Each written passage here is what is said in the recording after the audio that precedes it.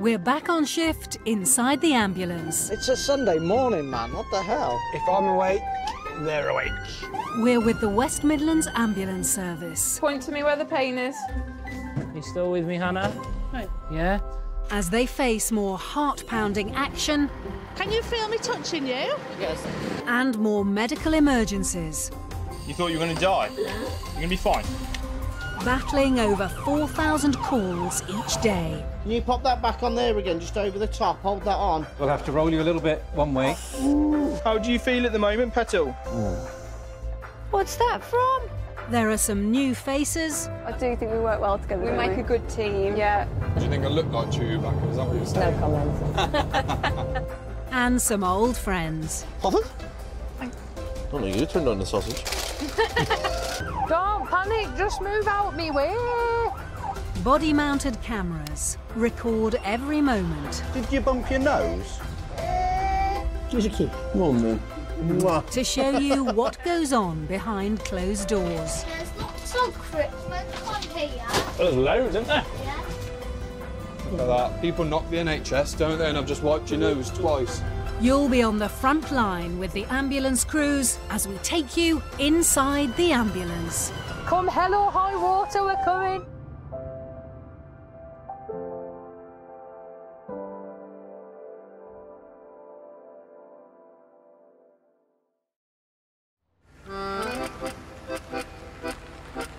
I did the half marathon, Wolverhampton half marathon, when I was 17. Yeah. With no training. and I couldn't walk for a week.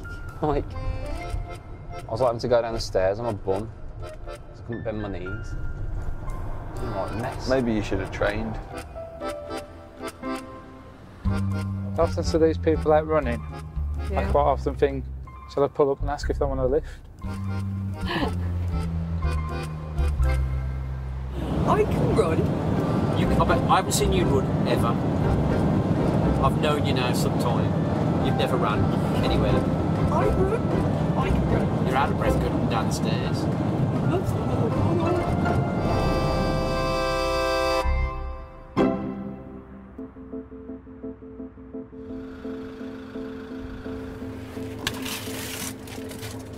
Put your sausage roll back in there as well. It's 11:30 in the morning in the West Midlands, and on shift together are paramedic Andy Turner and his crewmate and daughter, student paramedic Emily. Did you not have breakfast? you need to eat breakfast. Everybody always asks me, like, what is it like working with you? But you are, you are my best mate, and we do get on really well. I know it sounds really cheesy and horrible. You do irritate me, and I'm sure I irritate you as well. But we do get on really well and work together really well. Three-year-old female with a head injury. Cut above bridge of nose on forehead. So your main thing with that then is, is, is how's the kid? You know. Yeah. Want to check her eyes and stuff. Give it a clean. Make sure there's no dirt in it. Andy was a music teacher before retraining as a paramedic. It is an interesting one, isn't it? The dynamic of going to see a child when I'm working with my own daughter. Emily is 20. She joined the ambulance service just over a year ago. The father and daughter team arrive at their young patient's house. Don't walk across the grass. Pull mud into somebody's house. Hello, ambulance here. Hello there. Mum, my name's Andy. This is Emily. Who have we got here then? This is me. Mum, can we just turn the TV off? Is that all right? Mum of four, Leah, was out of the room when she heard Mia cry out. Oh dear. Um, I wasn't in, I was in the kitchen, but she said she's trying to go there and just lift it off the end. Oh, off the radiator. I The, the fact that she's crying is a good thing. Yeah. But, you know, was she knocked out at all, Mum? Uh, no, she came walking She came running straight through. And So, leaving, just down. okay.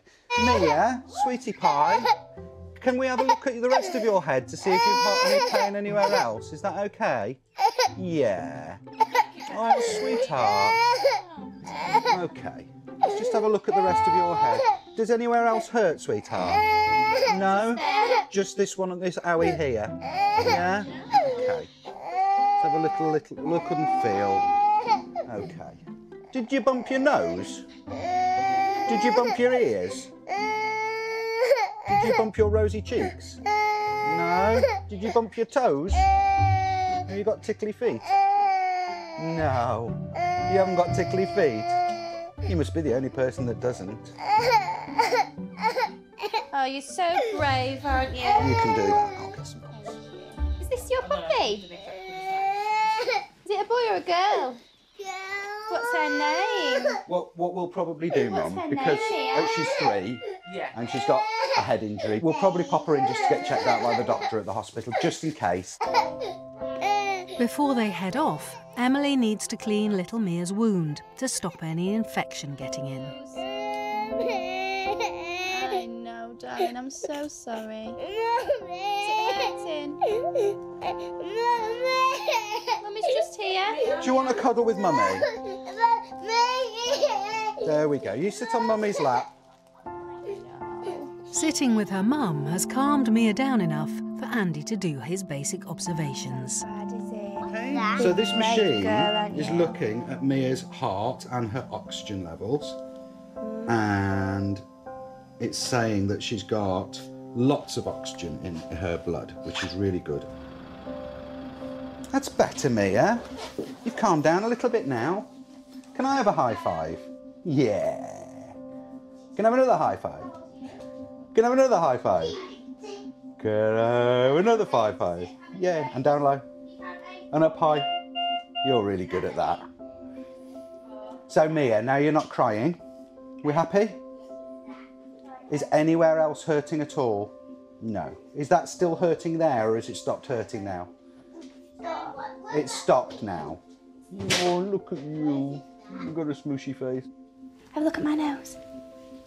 Look at my nose. I'm just going to shine this in your eyes.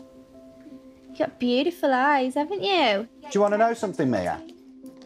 Do you know I've got a baby girl as well? Do you know who my baby girl is? No. She's my daughter. Dad? Did you know that? she did. You did know that? She knew that. So do you remember my name? My name's Andy, Andy. and this is Emily, and I'm Emily's dad. People love it, don't they? They love the fact that when they discover that you're my daughter and Yeah. I'm your dad, they're like, "Oh no way, really? What's that like?" And it, it's almost, it makes a very good icebreaker. Mm. That's our sort of Yeah. USP, isn't it? USP. Unique selling point. Oh, didn't even know what that meant. How you feeling now, Pumpkin? You feeling okay? I'm going to put a little makeshift plaster over that just to stop it from bleeding. There you go. You look funny. you got a plaster on your head. That looks funny. Give me a smile. Mia's off to hospital with the whole family in tow. There you go. Pop your finger back in there. Good girl. You're right if we have that little scratch in your foot just to take You your blood. Is that okay? Just gonna do It's a just little a bit. tiny little owie, okay? Good girl. done. Well done. Aren't you so brave? That was really brave. So her blood sugar's a little bit low, Okay. so I'm just going to give her something to eat. Mia, here's a tube of some sweeties. Do you want some? You it's go. like jelly. It's, It's like just, jelly. you like- it's just like sweeties. Put some on your finger. And then try it. Just try a little bit on your finger. Have a try. It's just sugar. I'll leave that with you. I'll leave that with you, Mum. If you can get her to have some of that, um, me to try a bit. you can do. Yeah, look. It's just sweet. You want to try? Put it in your finger. There you go. Oh, straight in your mouth. Put it in. Lick. Oh, let me have some. There you go. You have Let it. me, let me. You're gonna, are you gonna squeeze it you into have your to mouth? squeeze it in your mouth. Oh, what, can I have some? Good girl. Just Check that. Good girl. The gel will raise Mia's low blood sugar levels. Are you good to go? Yeah, we're all ready. Have Are you you got good your to go, seatbelts Mia? on? Yeah. Everybody's ready. Are you ready? Everybody's ready.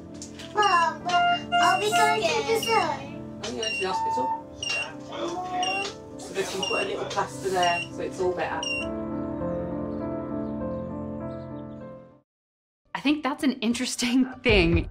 This one piece will make 52 layers. Watch on mobile devices or the big screen. All for free. No subscription required.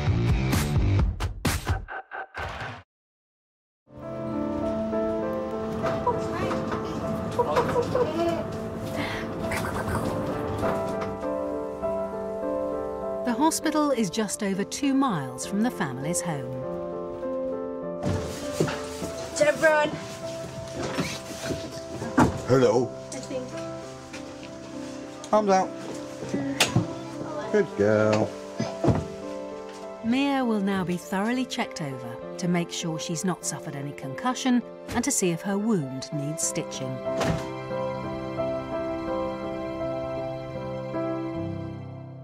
How did you feel dealing with Mia? I felt fine. She was so brave. I mean, She having was? a cut right in the middle of your forehead, that's going to hurt a bit, innit? Yeah, and you did a good job calming her down and being nice and everything. Oh, it's fine with kids. If you just irritate them a little bit, you get them laughing. Yeah, once you get them giggling and get them uh, thinking something's funny, Yeah. it's very difficult to carry on being upset when you're thinking something's funny. Yeah.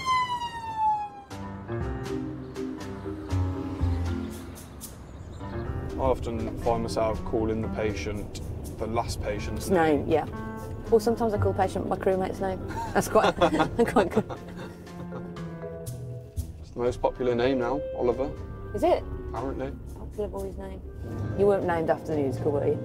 Uh, I think I was named from Thomas the Tank Engine That's interesting. because my middle name is Thomas as well. So, is there, is, there's not an Oliver in There's an Thomas the Oliver, yeah. Is there? I'm There not. is. I'm not up on Thomas the Tank Engine, to be fair. What's Oliver in Thomas the Tank Engine?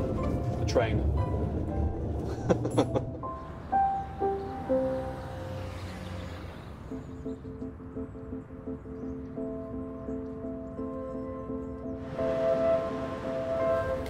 Hey, it's busy. It is. Ambulance technician Jamie Busby and clinical team mentor John Ostrowski have just come on shift. Although they've known each other for three years, they've not often worked together. We have got a 82-year-old female, we think. She has been advised to call 999 by her GP because she's having chest pains and shortness of breath. Ah, and at the end, it's got query nebulizer. She's fighting for breath. The patient's granddaughter Katie and great grandson Harley are waiting to let the crew in. Hello there. Hello. Hello. Where are we going, The toys. No oh, worries. Oh, that's all right. Hello, Flower. Hello. Is it Mary, is it? I'm Jamie, this is John. Hello, Mary. Hey, John. The pain's coming here, right on, under my breast. Okay. How long have you had the pain for? About three o'clock this afternoon. So about an hour. Yes. Okay, I've got short of breath. Seven. Finger in there, darling. 13. 13, 26, 52. 52, that is a little bit on the fast side. It is. Can I have a listen to your chest, Mary? Yeah. I know it's hard, darling, but try and slow that breathing down for me. Okay? Because it's just going to make you worse. Yeah. Global wheeze. She's known to have high blood pressure. Yeah. Very high blood pressure. That's okay then. She's not had paracetamol, no? No. Okay, because we're 38.8 at the moment. Okay. I'm in quite a bit of discomfort. Yeah, I'm going to go for chest sepsis. Mary was struggling with her breathing. You know, she was breathing very fast and her heart rate was going very quick. She was quite a panicked state.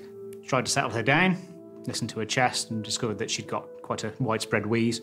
And the other observations then went on to suggest that she was suffering with an infection of her chest. Just pop this mask on, give you a little bit of oxygen. Breathe in and out through your mouth for me. That's it, darling. Come here. Where are we on the old sepsis? That's a jump to 99 now. Marker. Um, we're red, mate, through and through. Okay. So we used the phrase red flag, uh, which refers to sepsis. And uh, for Mary, it basically was showing us that her body was really starting to struggle. Uh, she needed urgent treatment, otherwise, she was going to get a lot worse. So, when the phrase was used, it was just to highlight to both of us, just to make sure we both knew what situation we were actually dealing with. Right. It's going to be a sharp scratch. One, Look two, three. Beautiful. Pop that on. That's grand. That's a much better BP. 166. 16. Good. It was 200 and something a minute ago. Yeah. Mary's heart rate has slowed a little, but it's still very fast. Do you feel like that's helping at all? The nebulizer? A little. I won't take the pain away, but it should help you to breathe easier. You haven't been diagnosed with any lung conditions? No. No. All right. You hold on to me. One, two, three, hop. I'm going to give you some paracetamol on the way in, all right? But I'm going to put it through that vein, I think. Bit of fluid as well. Right, I'm going to tilt you back, darling, okay? Uh, I'll meet you there, okay? All right. There's not a lot to you, is there? Just have a li- listen to your chest again. Resp rate still maybe, doesn't it? We beat the wheeze. Very crackly. You just lean forwards for me. Thank you. Yeah, there is a wheeze. Going to give you another nebulizer, since the last one helped you a little bit. So how bad's this pain? So are we talking like a 7 or 8 out of 10? Or worse? So 9? Yeah? Ooh, that is bad. You had no chest pains? No. So just that pain under your breasts? On this side? Sepsis can cause damage to every major organ in the body. But Mary's pain could also be from some other infection in her heart or lungs. Mary, what I can do with is just popping some more stickers across your chest. And just we can have a close look what your heart's doing. Is that all right? The crew are alerting the hospital that a high-risk patient is on her way. Hello, A&E. We've got an 83-year-old lady, uh, red sepsis alert, query chest, hypertensive at 228 over 65. O2 sats are at 100% on a nebulizer, temp of 38.8, and we'll be with you in around about four minutes. Cheers mate. see you in a bit. Ta-da.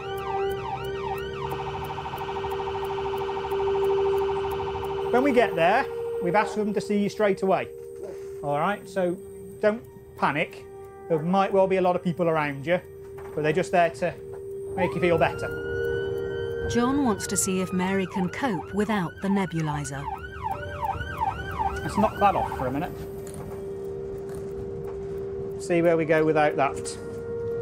Okay? Yes, thank you. Do you feel like those two nebulizers have helped? Yeah. Feels like you can breathe easier now, does it? Well, it feels a bit better. If you start to feel short of breath again, you let me know. It seems to have done a bit of a good job on you. But two and a half minutes into the journey, Mary's breathing worsens again. What I'm going to do, because your oxygen levels have just dropped down a little bit again. So I'm going to give you just a little bit of oxygen, all right? Yeah. Just so your body hasn't got to work so hard for it.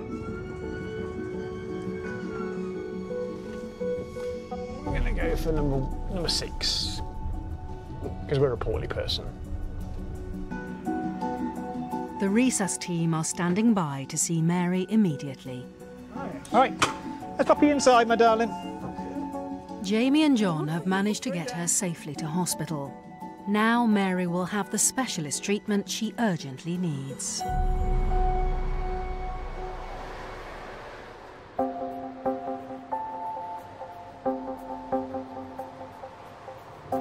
Well initially, was she? No, bless her. In quite a bad, quite a bad way altogether. It's just as well we got there fairly quick because she was, she was approaching the edge. I mean, that resp rate when we first came in, That was that was pretty high. that was non-sustainable for a length, any length of time, really. Yeah. I mean, she's just going to wear herself out completely, and then we're going we're going to have real problems. She could have been um, a lot worse if she was left much longer, I reckon. What would be your last meal? Um, if I had to uh, pick my own last meal, I would probably have. Oh, I'd probably have the biggest, dirtiest banquet of Chinese I could order. You Just it would- order everything. I, I, I put a lot of thought into this. Singapore chow mein. Okay. Uh, a special fried rice with the barbecue sauce. Nice. Um, it would be roast pork curry, and when you have a curry, you usually get chips with it. Yeah. So I'd have chips as well.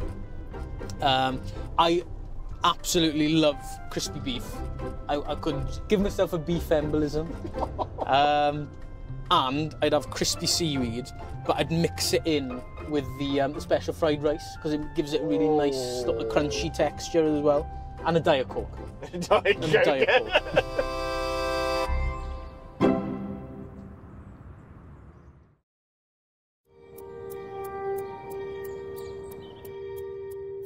Regular crewmates Laura Hickman and Kerry Richards have been called to their next job. So we're going to a 45 year old female with chesty pains. Tight chest, compressing pain. Does sound cardiac to be fair. We'll find out. Ah, we will. Their patient is at a training centre in West Bromwich town centre.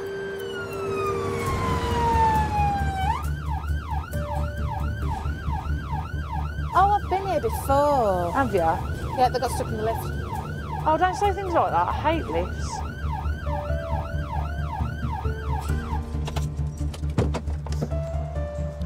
Staff at the centre called for an ambulance when one of their students started feeling ill.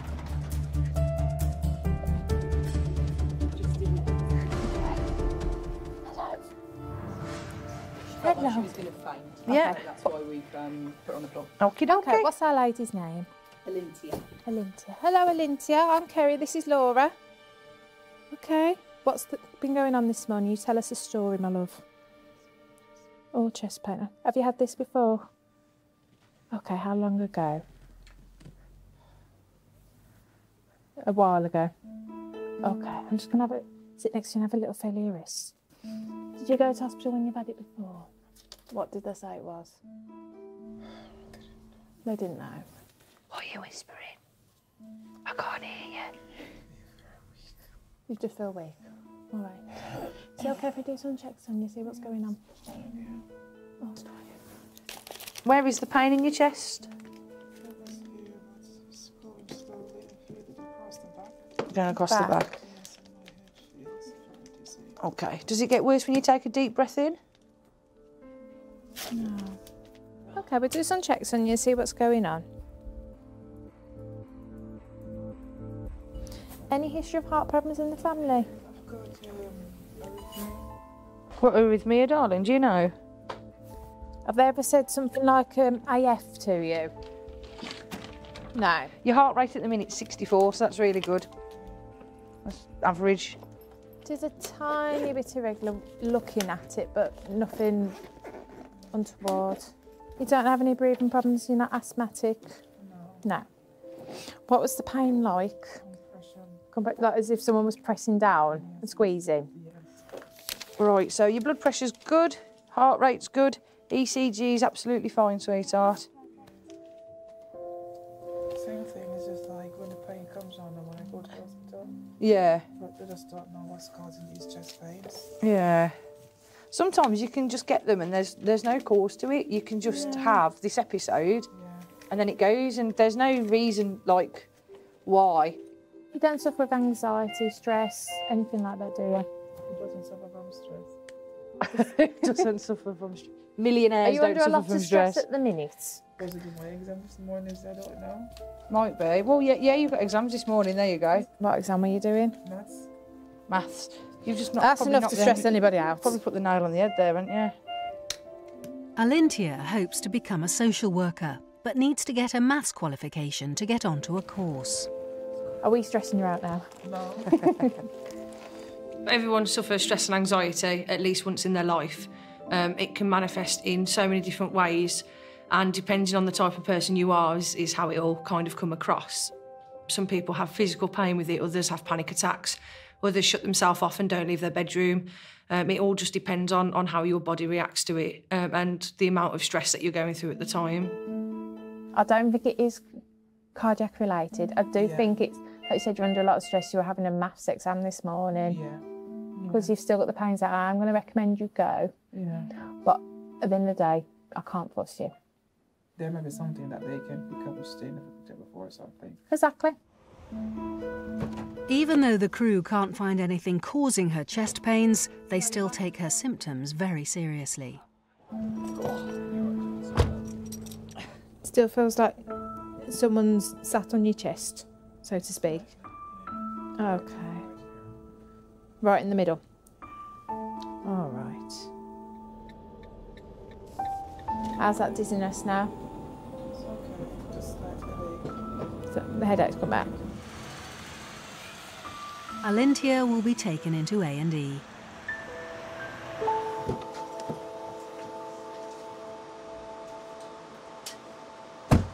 Are you happy to walk into the hospital, my sweet? Yes, I think so. Okay, okay. They'll do further tests to try to establish if it is stress or something else causing her chest pains.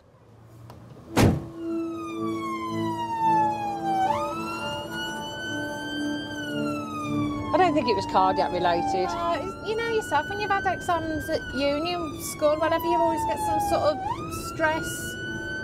Like the thought my exams coming up at uni, that's stressing me out. Bless you. But ma- nobody likes maths. Mathematicians like maths. Yeah, there is. But they're a strange breed. Yeah, my brother's one of them. He likes maths. No, Anxi- it's, uh, Anxiety's not nice. No, it's not the nicest. No. It's just learning how to deal with it when you've got it.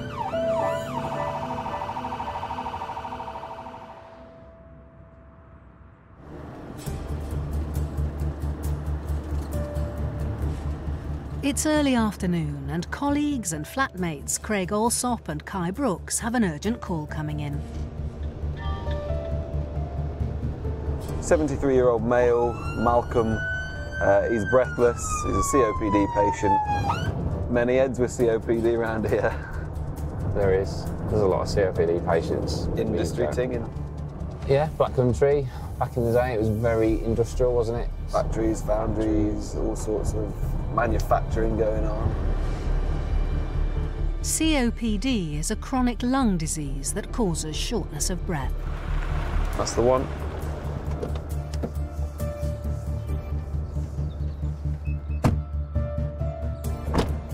Malcolm's wife, Sylvia, is waiting for them. Hello, all right. Who have we come to see? Is it yourself? Hello. Hello. Let's have a feel of your wrist. Let's pop your finger in there. So how long's his breathing been like this? Just this morning? Yeah, when he, when he got up, well, when he woke woke up this morning, Came on all of a sudden? he said he was really struggling to breathe. Mm. And I said, well, don't get anxious, because he don't lie in bed because of his chest. Right. You know, I'll get him up, Yeah, get yeah. him dressed and get him down. How was he through the night? Well, he wasn't too bad through the night. Weren't too bad through the night. Does he suffer with uh, irregular heartbeats? AF? Yeah, he's on warfarin, yeah. Malcolm, let's pop these sticky For, dots for on somebody with COPD, his, his oxygen saturations a really good, 96%. I know. It was obvious when we arrived that Malcolm was struggling with his breathing and he was quite distressed he couldn't speak to us. Uh, he was a known COPD patient, however, when we assessed him, his oxygen levels were fine and it didn't seem to be his COPD that was the problem. Uh, we then needed to work out what it was and go from there. Do you find, Malcolm, when you stood up and, mo- and walking around, it gets even worse, your breathing? It's probably to do with the AF, isn't it? I think so, yeah. Whether, whether your heart rate's going a little bit too quick and you, it's taking your breath away a bit. We can't leave you breathing like this, can we? I think No. If you carry on like this, you're gonna you're gonna get quite tired eventually. I am tired. Mm. Craig and Kai think that Malcolm's poor breathing is being caused by his irregular heartbeat and not his lung condition. Whatever the cause, he's getting weaker and is only going to get worse if he doesn't get treatment soon. When was the last time you were seen at hospital? Oh, A long, long time. Long time. Didn't get up. What'd you say we pop you down there now? I don't want to sit there. I know I know you don't, but I don't want to leave you at home with, you know, sh- short of breath like you are. having done nothing for you. And, you know, what we don't want is for it to get any worse and then have to come back later, do we? So, you know, Well, don't be stubborn now. You know. we, we don't say things unless We'll take we- you down then. That's fine.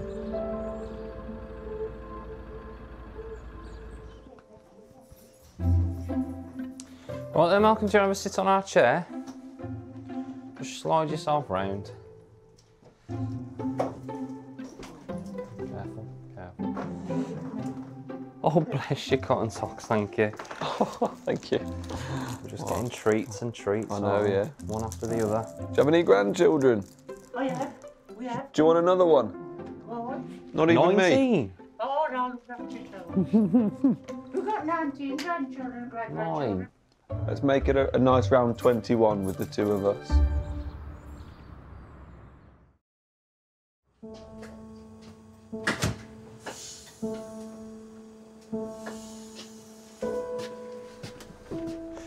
Okay then, Malcolm, so if we undo this strap, if you want to have a little sit on this bed for us.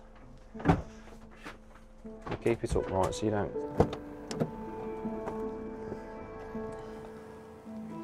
I'm ready when you are, Craig.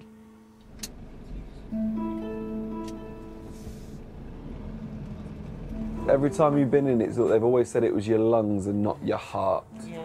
Because you can be short of breath because of your heart. But I mean, I'm now with you, see how bad I'm needing, and he knows so it ain't gonna get no better. See, and he was a smoker, heavy smoker. He worked in a dirty factory. What was the factory? What did you produce? Motor Parts for motor cars, was it? There wasn't anything he couldn't fix. Hmm. And now we can't change a plug. We've arrived. Yeah, Let me have that one off you there, Matt. that's so cheap. They will. Something's taking your, your breath away, isn't it? Is it Sylvia? have you have you pinched his breath? Taken his breath away. Malcolm will need to have further tests to know exactly what's responsible for his breathing problems.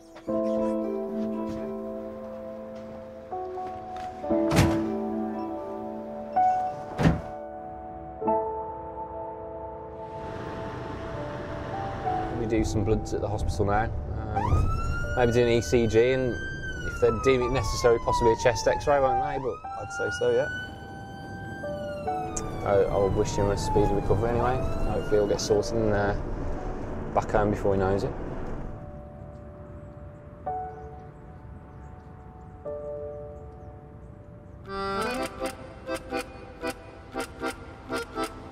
Did you buy that watch specially for when, when you joined? No, when we changed the colour of our shirts. I had a white one before. Are you having a laugh? No. You changed your watch colour. Yeah, because I like my, I like it to match. You're not joking either, are you? No, You telling I had a white one because I had a white, white one. shirt. But I had a white one anyway. And then I thought, oh, white shirts. And then we switched the colour of the shirt, so I was like, oh no, I, can't, I feel all out of sync that it's a different colour. I feel a bit weird. So I needed me. So you went and bought a green watch. I needed it to be the same colour. I like to feel like matching. Matching. Yeah.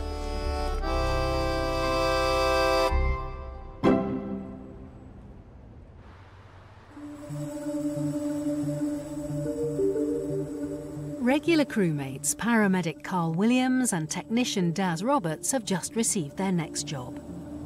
Well, we're going to a 48 year old female with staging SVT attack. 48 year old SVT? Ooh. I know. Wonder what breach she's at. SVT, or supraventricular tachycardia, is a serious condition where your heart suddenly beats much faster for no apparent reason.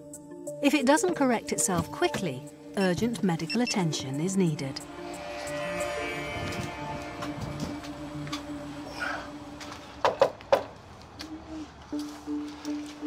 Hello.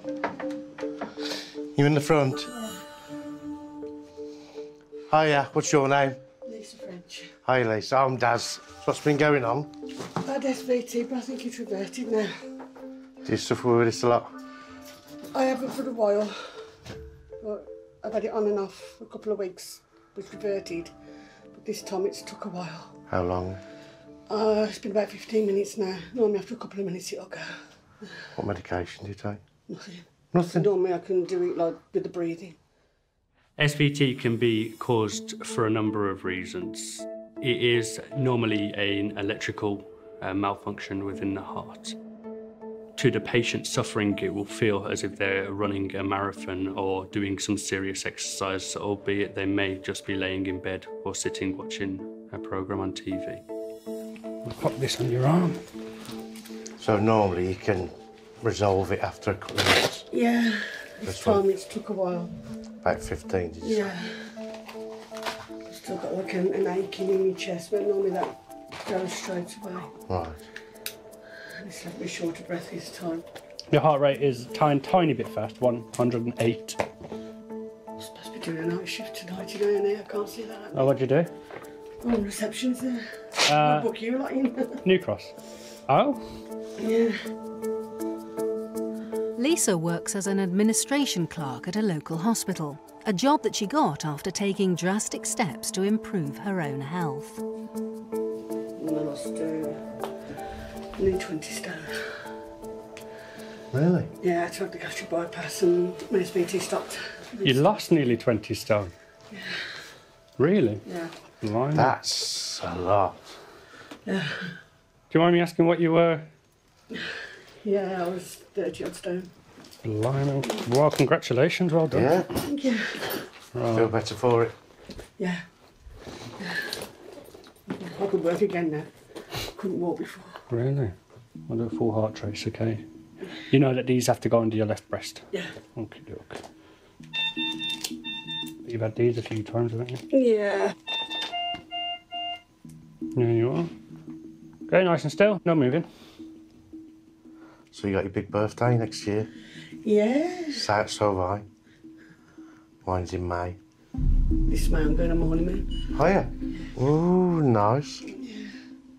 Daz is doing a good job of distracting newlywed Lisa, taking her mind off her symptoms. Your heart rate's reducing still. You're down on like 102 now. So when we first come in 116 and 108 when I told you last, wasn't it? Yeah. Because they ain't going to come down straight away. It's just going to No, come it's down gradually gradually, the more you relax. And, I think I'll be doing my night shift tonight. you know, we advise that you go to hospital to get checked out. Mm. We do advise it. It's a free way to get to work, isn't it? Because of, 'cause of the pain in your chest and that it's SVT that you suffer with. Yeah. And this was a longer bout than what you're normally used Yeah. to, so we always advise that you go. Yeah, that's fine. And then you haven't got a phone in sick, you can show in sick. Yeah, you know what I mean? So look, I'm in hospital bed. Are you, do you normally suffer with high blood pressure? Your blood pressure's in a slightly higher range at the minute, all right? Um, but I'm guessing all part and parcel of what you've just experienced. I'm going to take these off. You your was chest. worried and stuff. And Mm.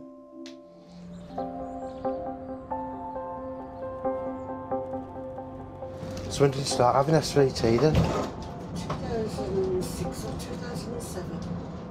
Before my bypass. That's why I've lost all the weight. Are you eating healthier? Yeah. I can't eat the rubbish now, makes me sick. I have what they call dumping syndrome. I get the sweats and the shakes and then all. dump everything that you're just eating? It's horrible feeling that is. I'd rather not eat the chocolate and Yeah.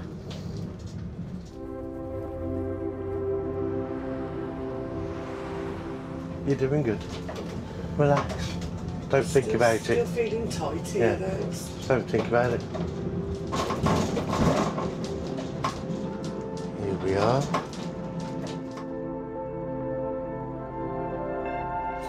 Right, madam. Your chariot awaits. Let's see who recognises you. all of them. What are you doing here? Usually Lisa comes to A&E to go to work. This time she'll be seen by colleagues on the cardiology team who will investigate her racing heart. Can't believe she's lost 20 stone. I know, that's amazing, that is. She was saying that she couldn't walk before she lost all the weight. She was housebound, couldn't work, couldn't walk. But it's done the job for her. Supraventricular tachycardia can be a funny one, really, because anything can cause it. It must be absolutely horrible feeling your heart race that fast.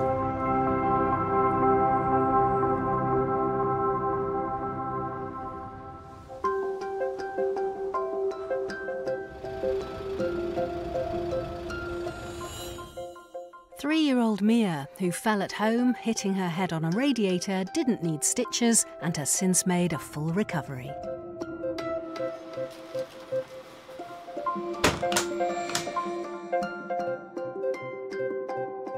Mary was found to have had a severe asthma attack and spent four days in hospital.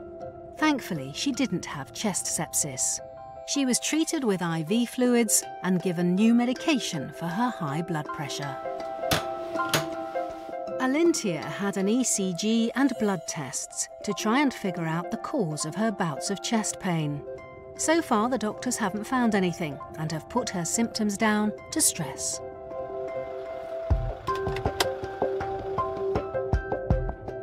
Malcolm's sudden onset of severe breathing difficulty was found to be caused by an infection.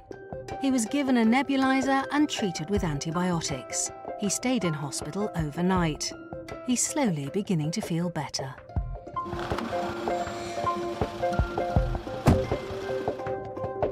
Hospital receptionist Lisa was taken to her place of work for treatment and discharged the same day. She's currently being assessed by cardiologists to see if medication is needed to control her heart condition. And that, ladies and gentlemen, is that. Is that.